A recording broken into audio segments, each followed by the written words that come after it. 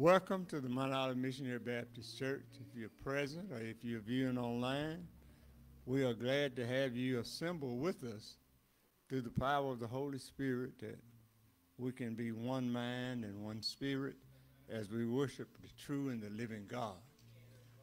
It's a blessing for us to be here, to be alive, and to have food to eat and a place to live, clothes to put on our backs. We're not in a war-torn country where there's uh, an army, but we do realize that we have those who are against the Christians and against the love of Christ by killing one another. So we have a need for much prayer and discipline in the home. So we're praying for every parent that got children that, that they can be saved and make sure that they teach the word to their children. As we present ourselves in a worship service, we're going to ask God to uh, just empower us with his Holy Spirit. We come, Father, thanking you for just allowing us to be alive. We realize, Father, that this day was predestined from the foundation of the earth. And Lord, you have purpose for our lives. We ask, Lord, as we learn more of your word, that we become a better witness for you to be, help build your kingdom here on earth. Father, we thank you for the gift of your son that you allowed him to die on the cross for our sins. And Father, we prepare to have a great celebration, not just at Mount Olive, but at all the different churches that are established in your name. Father, we pray that, that it will be focused on you and not on us and not on what we are doing, but what you have done and what you are doing right now. And Lord, as we present our bodies and our minds and our spirits to you, we'll just avail ourselves to be used by your word and by your Holy Spirit. In the name of Jesus we pray. Amen.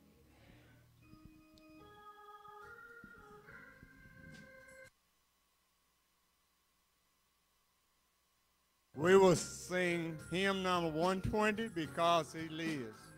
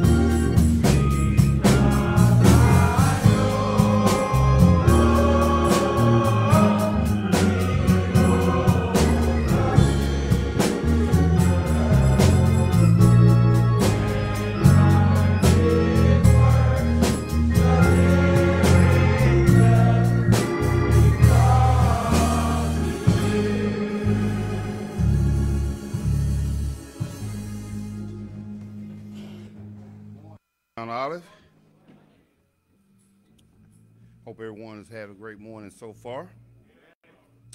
I want to take this time just for a moment. I will be reading the scripture from Psalms 142.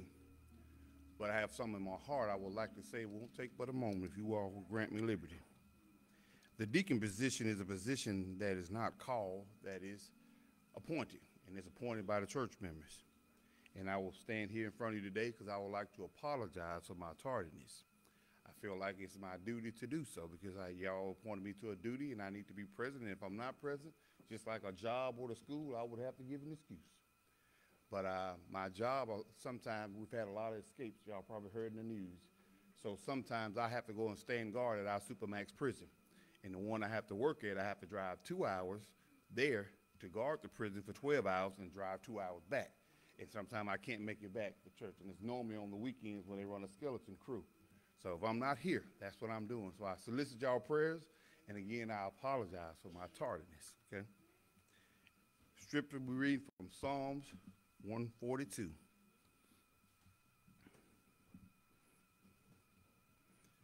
And it reads as follows I cried unto the Lord with my voice. With my voice unto the Lord did I make supplication. I poured out my complaint before him. I showed before him my trouble. When my spirit was overwhelmed within me, that thou knewest my path, and the way wherein I walk have they prevailed, have they privily laid a snare for me. I looked on my right hand, and behold, but there was no man that would know me. Refuge failed me, no man cared for my soul. I cried unto thee, O Lord. I said, Thou art my refuge and my portion in the land of the living. Attend unto my cry, for I am brought very low. Deliver me from my persecutors, for they have strong, for they are stronger than I.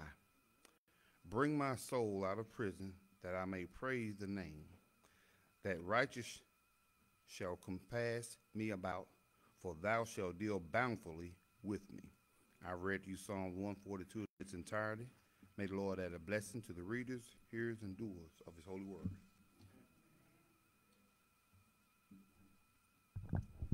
Let's pray. Father God, we come to you today as unblessed in our house saying thank you. Father, thank you for allowing us to go to sleep last night and wake up this morning. Lord, we thank you for allowing us to have a portion of health and strength. Father, we thank you for giving us the will and mind to want to come out to your house of worship to give you all the praise and glory. Father, we thank you for our pastor today, Father. Father, we thank you for continuing to give him the ability to lead us, your people. We thank you for the the ministers in the pulpit that uh, aids him. Father, we thank you for his family that sticks by his side. Father, we ask that as we go throughout this service that you just have your way. Lord, we pray for our musicians that they play skillfully, Father. Father, and when we leave here and return back to our homes, we ask that we find them as we left them. In Jesus' name I pray, amen. I'm satisfied with Jesus. I'm satisfied with Jesus. I'm satisfied with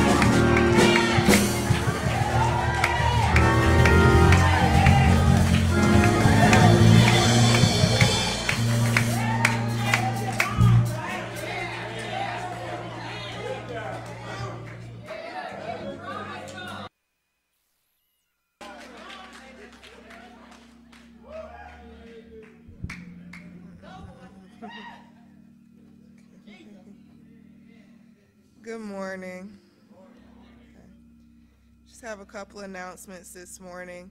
From the Sixth Avenue Missionary Baptist Church in Columbus, Mississippi, we cordially extend an invitation to you to share with us in the celebration of Pastor David Jefferson Johnson Jr. and family's second pastoral appreciation at the Sixth Avenue Missionary Baptist Church. He is also celebrating 38 years of service for the Lord Jesus. This celebration will be held on March 10th, 2024. Reverend Bobby L. Reeves, Associate Minister of the Sixth Avenue Missionary Baptist Church, Columbus, Mississippi, will be our guest preacher for the 10 o'clock a.m. morning worship service. Reverend Johnson F. Johnson, no, John F. Johnson, I'm sorry, pastor of Living Faith Bible Church, Houston, Texas, will be our special guest for the 3 o'clock service. The theme for the occasion is Ephesians chapter 4, verses 11 and 12. And he gave some apostles and some prophets and some evangelists and some pastors and teachers for the perfecting of the saints, for the work of the ministry, for the edifying of the body of Christ. A fellowship meal will be served from 12 o'clock noon to 2 o'clock p.m. at the Sandfield Community Center between services. Prayerfully and sincerely, with faithful expectation of a blessed celebration in Christ Jesus, the Sixth Avenue Missionary Baptist Church family. The mass choir will practice this Thursday at 6:30 p.m. For our prayer sick and shut in and bereavement, on the prayer list we have Pastor Benny Henry, Brother Frank Henry Sr., Brother George Hayden, Sister Josephine Wash, Sister Dorothy Williams, the Neshoba General Nursing Home, the Moses family, the Lemons family, the Bells family, the Dickersons family, the Davis family, Brother Leroy Brunson, Brother Alan Martins and family, Brother Johnny Hunter, Brother Curly B. Swoop, the Staples, Hills, Birds, and Davis family, Walmart on 495, Brother Robert James, Sister Hannah Mills, Sister Linda G. Tellis, Sister Ann Hudson, Brother James Henry, Brother Billy Collins, Sister Linda Vassar, Sister Ann Glenn and her grandson in the hospital,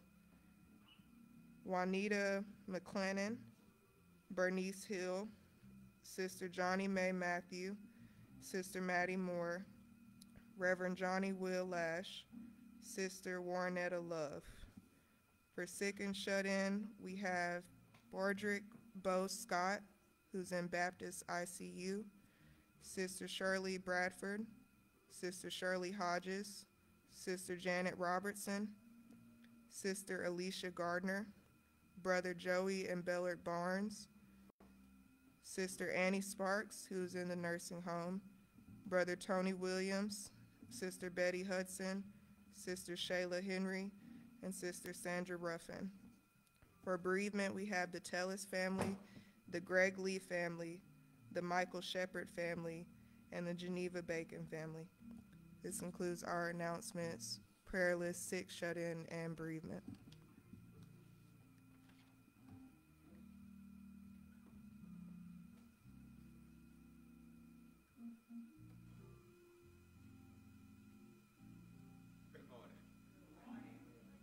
Me ask you all a serious question. Did you all know there was 12 gates to that city? If you didn't know it, you know it now. Thank you, choir, for reminding us of the 12 gates of the city. Let me tell you what else they got up there. They got the streets are paved with gold. And there's one big pearl at the pearly gates, made out of one big pearl. And all those things are attractive. But that's not what want me want to go to that city. I want to go there because my Lord and Savior is there. Jesus is there. there was 12 gates. I hope that everybody find a gate to get in because the Lord is calling us. And one day we will be there where he is. Let us pray. Father God, we thank you for choir this morning, our young people. Lord, we pray their strength in you, that you will watch over them, touch them, and keep them safe out of an evil and sinful world. Lord, we lift up a special prayer for those on our sick and shut-in list. Lord, it's not a good thing to be incapacitated, not able to do the things that you put us on this earth to do. But we know that you are the answer to all our problems. Whatever we are going through, whatever we are dealing with, Lord, we know that we can call on that name, and there's no other name under heaven and earth that we can call except the name of Jesus that can do and all the things that we need to have done so we can live a productive life down here on planet Earth. Lord, strengthen us. Bless every church door that's open in your name. Bless everyone that attends service. Let us not come out to the house of God and go back home the same way. Lord, we ought to grow just a little bit, if not a lot, and we come to your house and hear your word and hear the man of God that's going to stand and bring the word of life to us this morning. Empower him, anoint him, strengthen him, undergird him with your spirit, that he may preach the word, Lord, but you not see him, but you see Jesus. And know that he, he died that we may have life and have it more abundantly. Be with us and guide us and strengthen us now, Lord. We ask you to bless the offering that we had been received. Bless us as we go about our daily chores today. Let us not just forget about what we heard, but let us go and do what your word told us to do. Study to show ourselves approved. A workman need not be ashamed, but rightly dividing the word of truth. Thank you, Lord, for this day and for every day. In Jesus' name, amen.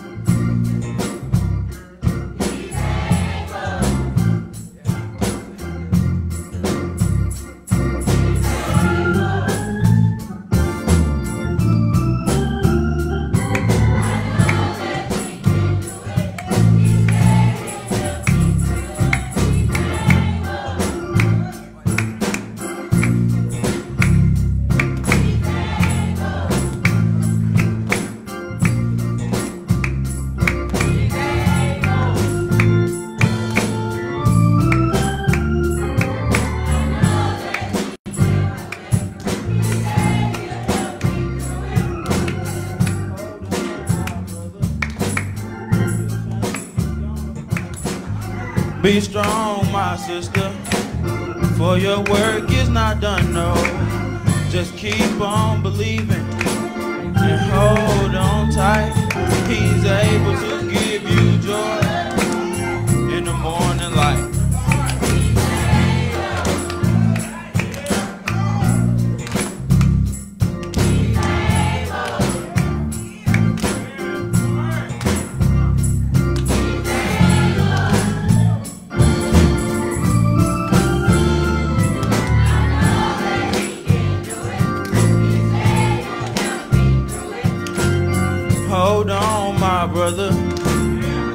Your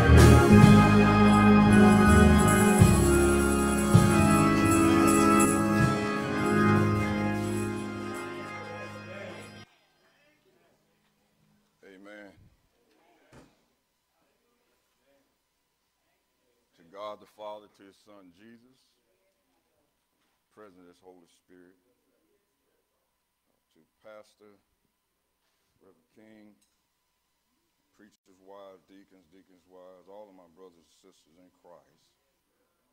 It's good to be here. Uh, we had a great service so far. Uh, um, the children told us about the 12 gates. There's a city. And they sung it truthfully. Um, and they sung it to the best of their ability. And I thank God for them. Um, I was thinking that COVID was kind of off to the side, but I know someone who has COVID this morning. Uh, and it's still out and about. But we know God is able. Uh, he brought it to my remembrance. Uh, you know, we still have that going on. Because I was so surprised when they told me. Uh, and then, you know, of course, those around them are affected as well. Amen. But God has been good to us. Uh, some of us have had it multiple times, and we're still here. Now, I won't hold you, brothers and sisters. Uh, you know, I don't stand up too long. but I have a word for you today. Amen. Uh, 2 Timothy, second chapter, and I'll just read verse 18 and 19. Uh, and I'm reading from the King James Version. Uh, 2 Timothy 2, 18 and 19. You find it, say amen. Still, I hear pages turn and say, wait, preacher. wait, preacher. 2, verse 18 and 19 is all I'm going to read.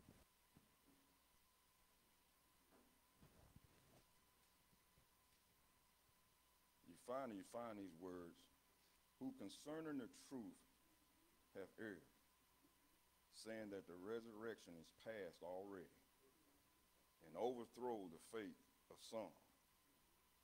Nevertheless, the foundation of God standeth sure, having this seal.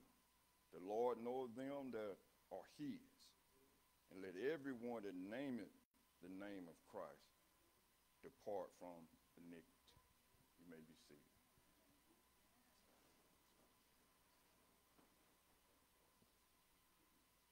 Uh, just for a moment, I want to talk about the foundation of salvation.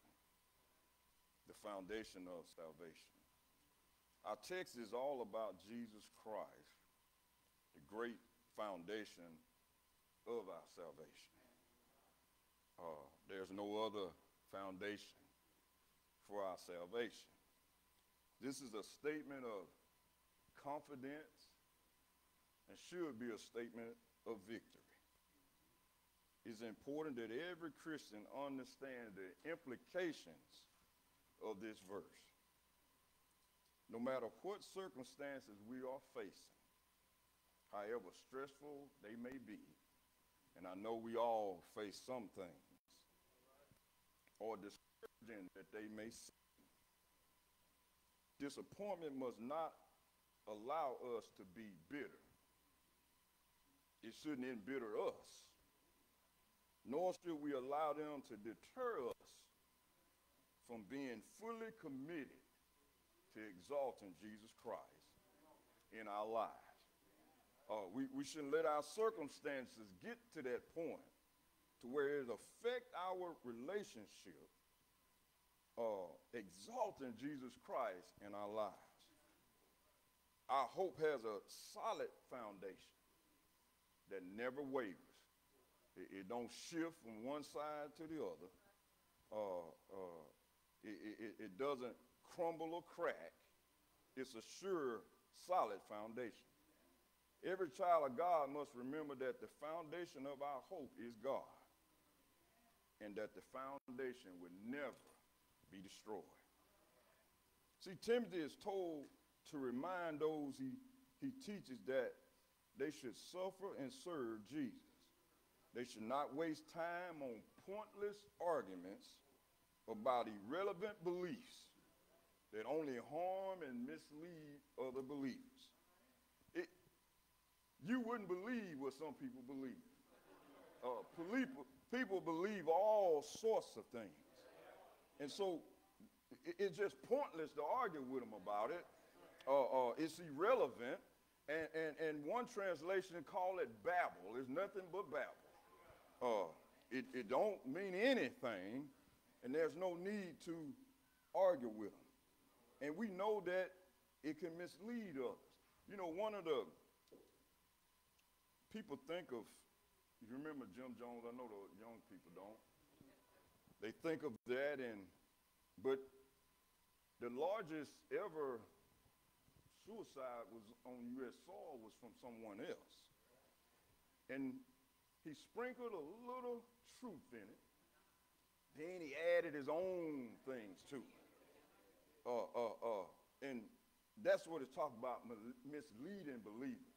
Now, some will be way off in left field, but some will throw a little bit, they come kind of middle ways, and throw some God in it, and then throw some of themselves in it. And I don't know where the aliens come in at it, but they throw that in it too. Uh, and here he names specific men who were spreading untrue messages among the believers. Paul says, avoid these men, but rest confident, uh, being confident in Jesus Christ. For he knows who belongs to him. Uh, maybe Timothy was uh, perhaps discouraged. Uh, he had one time been in prison for his faith, uh, Hebrew 13 and 23. And now Paul was in prison and let Timothy know up front that he would remain so until his death. Timothy was being attacked by false teachers just as the church is attacked today. In other words, it's still going on now. Satan's still at his job. Uh, you know, he didn't stop yesterday and, and, and not, you know, take a day off.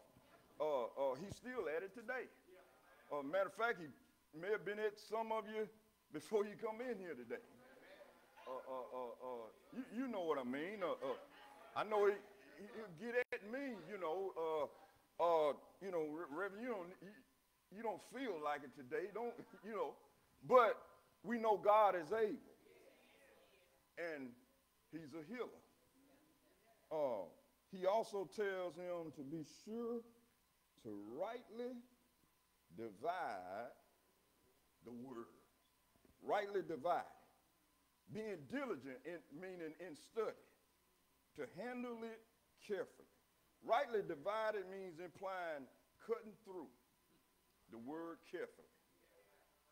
Well, a couple of things, brothers and sisters, I want you to note before I leave today is the foundation, you look at the design of the foundation. It said, nevertheless, the foundation of God standeth sure. Nevertheless is a word that bridge connecting two ideas. The first of which has no power, even if it's factual, to lessen the greater truth of the second. So, nevertheless, it's the most efficient rebuttal to any argument that you can make.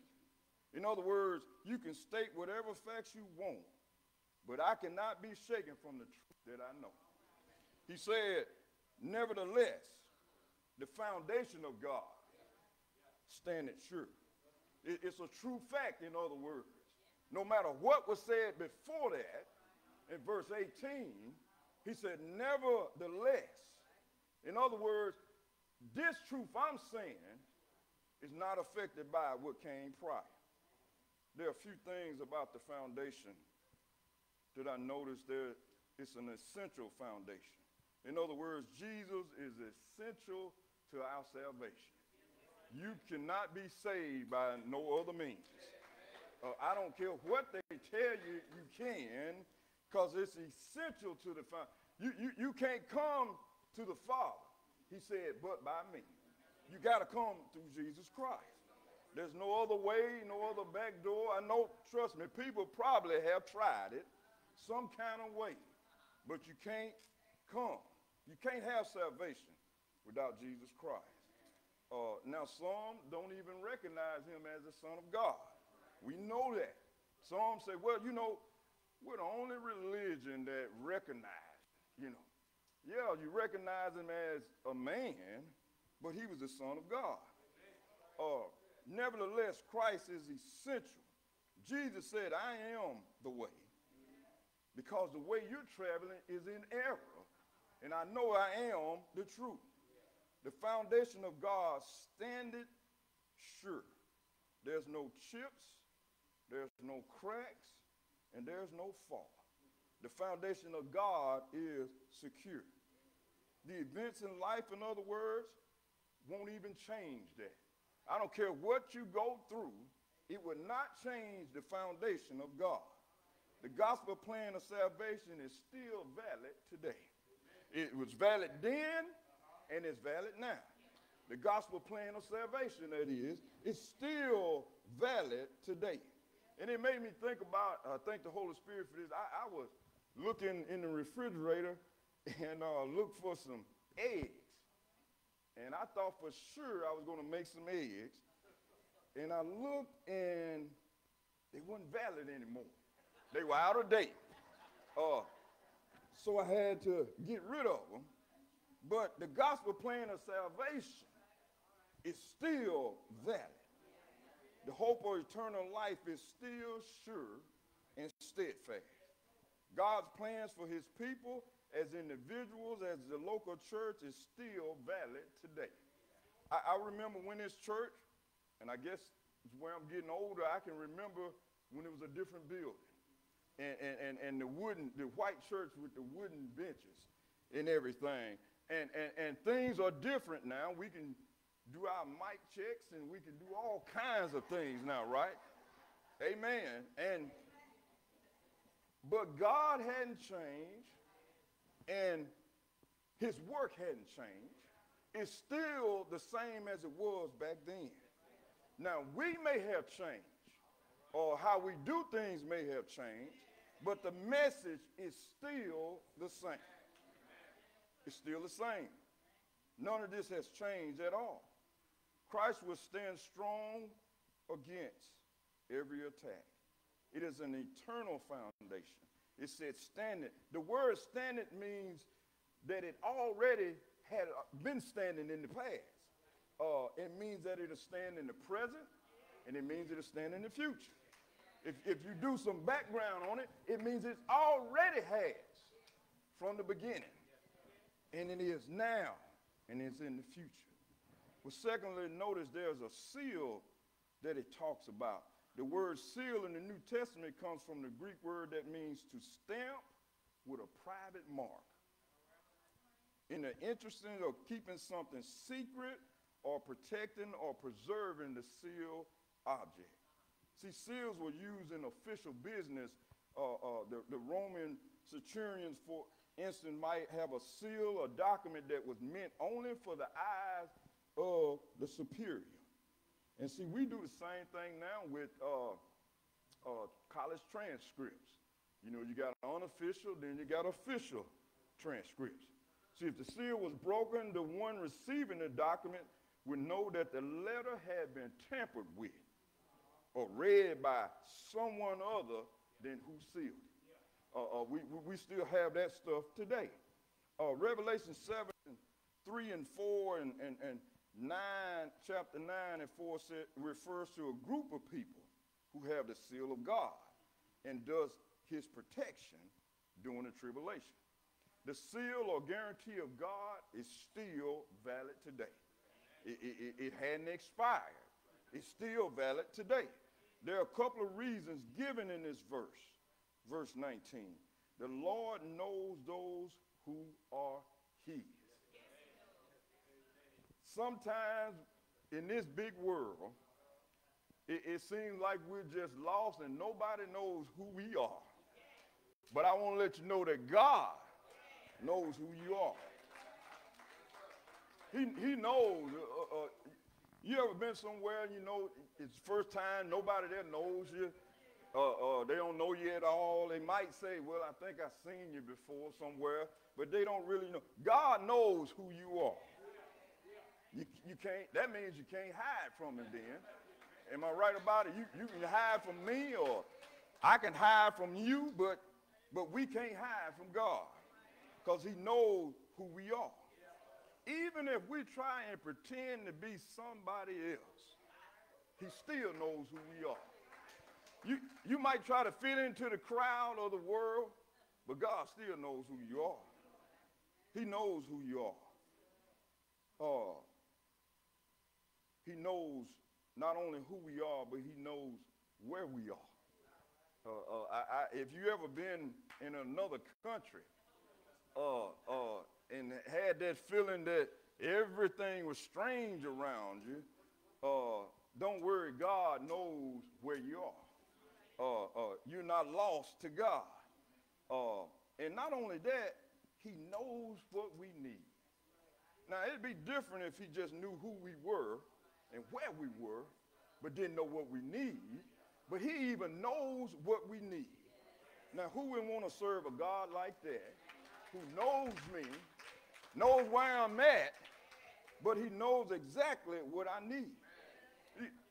I know you ever been working on something, I know myself, and you got somebody helping you, and you turn around and say, hey, give me a uh, pair of pliers. And they give you something else. Uh, uh, they there with you, but they don't know what you need. God knows what we need. He understands what we face. Uh, what we're going through, God knows all about it. Uh, he knows all about our whole situation. He is actually watching us. Uh, the Bible says in, in 2nd Chronicles 16 and 9, for the eyes of the Lord run to and fro throughout the whole earth to show himself strong in the behalf of them whose heart is perfect toward him. Says his eyes of the Lord run to and fro throughout the whole earth. See, he will not lose us in the shuffle of life's traumas. He, in other words, God hadn't forgotten about you, even when you're feeling down and you think that, okay, nothing has ever happened, nothing happened, things hadn't changed. God has not forgotten about you. It- it- it- things hadn't shuffled to where he don't know where you are. The Lord knoweth them that are his. And let everyone that nameth the name of Christ depart from iniquity or sin. Depart from iniquity or sin. On most seals and some writing, we know uh, the writing on the seal, the Lord knoweth them that are his. Remember, Jesus said, I am the good shepherd. And my sheep know my voice, right? That's what, that's what he said. He, he said, they, they, they know it, me. Uh, Jesus uh, bore the seal of God on him. God the Father has placed the seal of, of approval. And you can find that in John, uh, the 27th verse, 6th chapter, 27th verse. Those who trust in Jesus also possesses the seal of God, which is the Holy Spirit. You also were included in Christ when you heard the message of the truth, the gospel of your salvation. When you believe, you were marked with him with a seal, the promise of the Holy Spirit, who is the deposit or guarantee our inheritance unto the redemption of those who are God's possession. It's good to know that God's children are sealed this morning and are secure and sustained amid the wickedness of this old world. In closing, brothers and sisters, I want to let you know that God is building something wonderful. It is called the church. He has laid the foundation. He has placed the cornerstone. He has assembled living stones of this structure. He is adding on to it more and more. God is the master builder who is building his church, but he is using us to do his work. Each of God's people has a responsibility to build up and disciples of others. While discipleship begins in the home, it doesn't end there. Each person in the church has an opportunity to help shape the future of the other members of the household of God. Each one of us ought to support and help each other by teaching and modeling Jesus Christ. God's work of building his temple, it also includes us. You know, they, they, they talk about, especially around election time, they always talk about uh, the border and, and, and what's going on at the border. And, and, and, and, and those who want to come in and become United States citizens. And they want to have the rights and privileges that we have.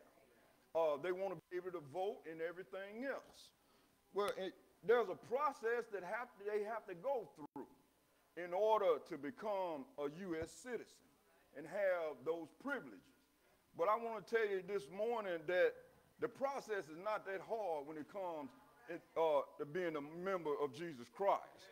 Being a member of his family, oh, it don't take that long.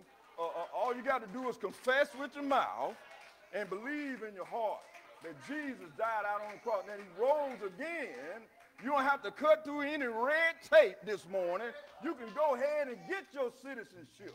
And then once you in the family of Christ, that there's no big use no little eyes that we all are the same and that we all can do the same thing, that God give us the privilege to do it. Well, in order to do that, Jesus at the age of 12, he said, now I must be about my father's business. He healed the sick and he gave sight to the blind. They tried to make a shame out of him and they put him between two thieves. But he said, no man will take my life and I'll lay it down. But if I lay it down, I'll pick it up again. And he hung his head in the locks of his shoulders, and he gave up the ghost. They took him down and they put him in a borrowed tomb. But on the third day morning, Jesus rolled up with all power in heaven and earth in his hand. He's a sure foundation this morning. He's a secure foundation this morning. Some of us might wave and whipper, but God is solid in what he does. We need to trust in him this morning. Trust in the Lord. We need to trust in him this morning. He's a sure foundation for us. And let me tell you, some will tell you that you, you get saved, uh, you, you, you can do something and lose your salvation. But, but it doesn't work that way. Don't save one minute and we lose our salvation the next minute. Uh, uh, he's, we're sealed to the day of redemption.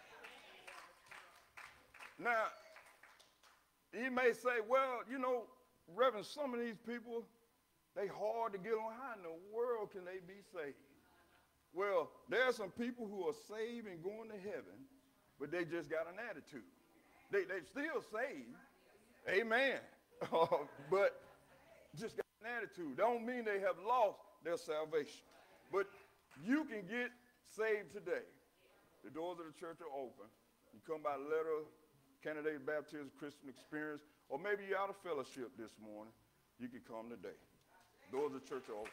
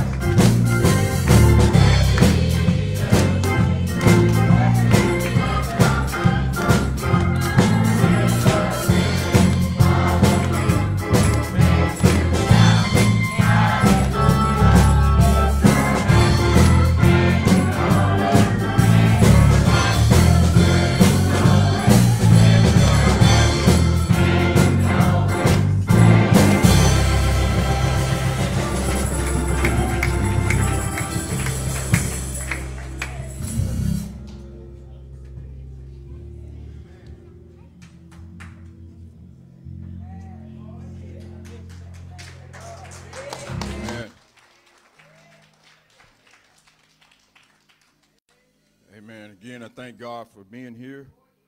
Uh, thank God for this day. Uh, beautiful day.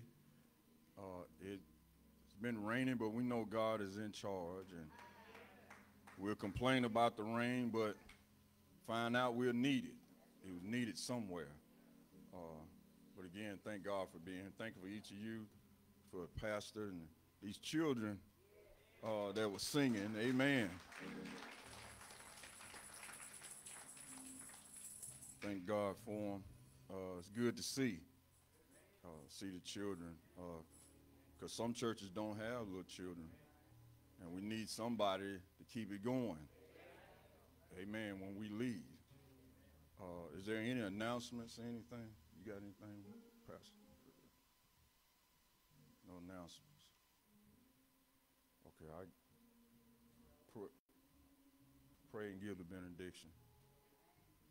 Gracious Father, we thank you, uh, Master, for this day. We we thank you for being able to be around other believers, Father. Uh, we thank you for everything that we've seen in this service, uh, that we've heard, Father. Uh, continue to lift those up who are sick, uh, those who weren't able to make it, Father. And give us strength as we leave here today, Father, that uh, we'll be able to tell a dying world about your Son, Jesus Christ. And bless everyone as they travel back home, Father, that they arrive there safely. We'll be careful, to give you all the glory, all the honor, and all the praise. In the name of Jesus, we pray. Amen.